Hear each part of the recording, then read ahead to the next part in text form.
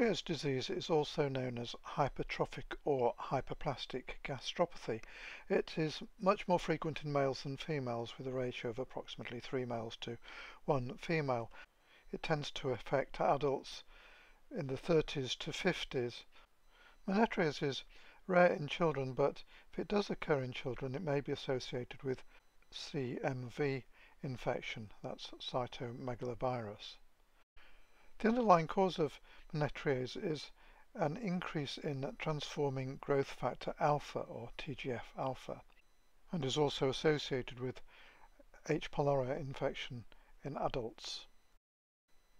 Menetriers may be asymptomatic, but when there are symptoms, there may be upper abdominal or epigastric pain, nausea and vomiting, diarrhea, weight loss, and superficial erosions of the gastric mucosa may cause bleeding. The effect of menetriers on the stomach is to cause a decrease in hydrochloric acid production but an increase in mucus production that can lead to protein loss with decreased albumin and resulting edema. Grossly, when the stomach is affected by menetriers, the mucosal folds are giant and hypertrophied or hyperplastic with a sort of cerebriform or brain-like appearance and the giant folds tend to uh, affect the body and fundus of the stomach with the antrum being spared. There is hyperplasia of superficial mucous glands, corkscrew and dilated foveolar glands with atrophy of glands and there may be little edema and mild inflammation in the lamina propria. Here is a gross image of menetriers showing these giant mucosal folds resembling the surface of the brain or cerebriform appearance.